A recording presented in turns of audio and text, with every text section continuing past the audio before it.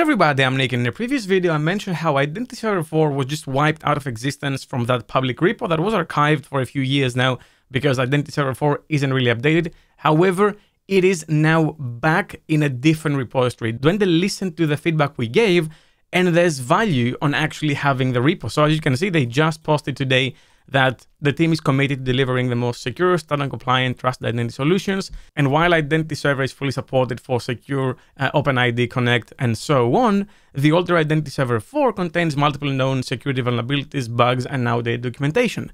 However, there's still companies depending on that product and that documentation, as well as issues and pull requests and just the history of how the software was made.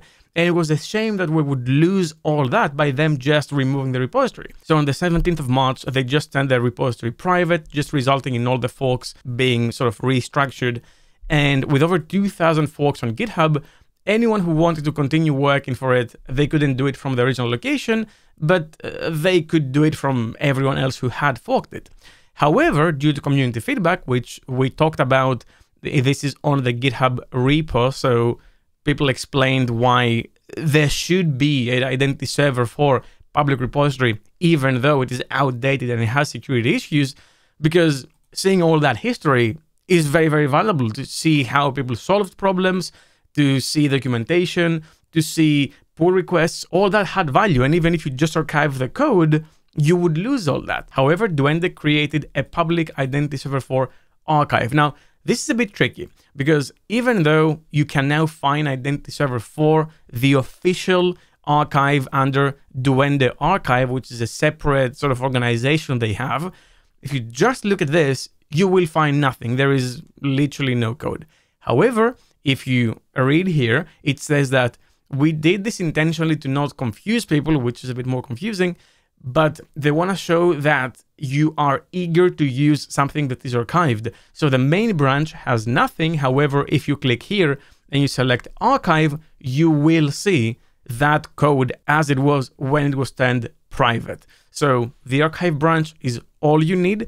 You can still get access to all of the issues that were ever created. So nothing is removed. All 4,538 issues are here for you to view as well as the pull requests. So all the closed PRs, everything, documentation, all that is still here. The problem is you have to eagerly switch to the archive branch. But for us to have all the docs and everything, I think this is a massive win. And I'm very happy we actually talked about this because when we talk about it and we give more perspective, companies, hopefully good companies like Duende, listen. So for multiple important reasons, they made the repositories private. However, Identity Server 4 is out of support because it was done in Core 3. It reached uh, end of life in 2022.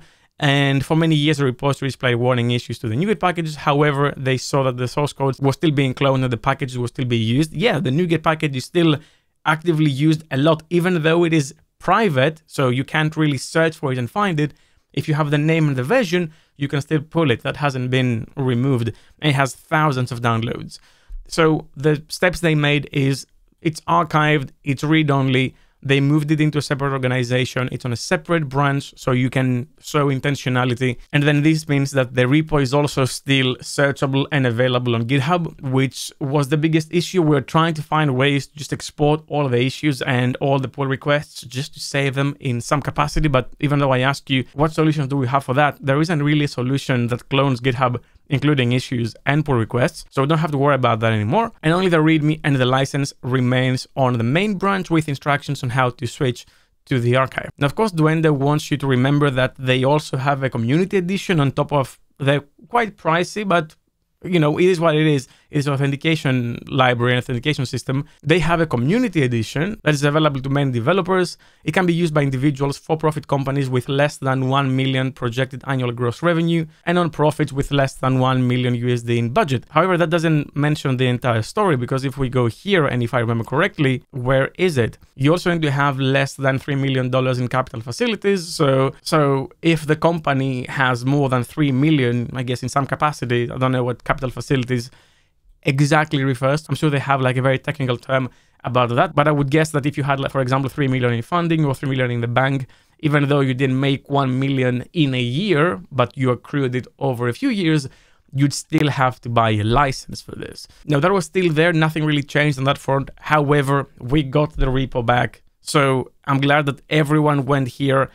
I think it's really worth reading this post to see how the company was talked effectively into bringing it back. I will put a link in the description, why not, in case you want this just for historic purposes. But the point that you shouldn't be using Identity Server 4 is still true. They're not just saying it because they want to sell you the premium product. It is outdated, it is not secure. You should move away. You are effectively in danger.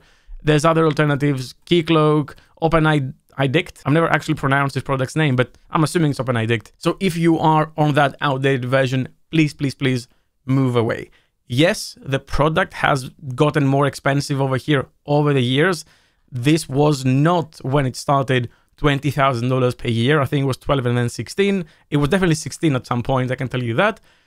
However, for authentication purposes, it's expensive. There's cheaper alternatives. But if you see value in this, or if you just want to migrate from the old system into the new one, this will be fairly painless. But I'm gonna leave that with you. So what do you think about all this? Leave a comment down below, let me know. Well, that's all I had for you for this video. Thank you very much for watching. As always, keep coding.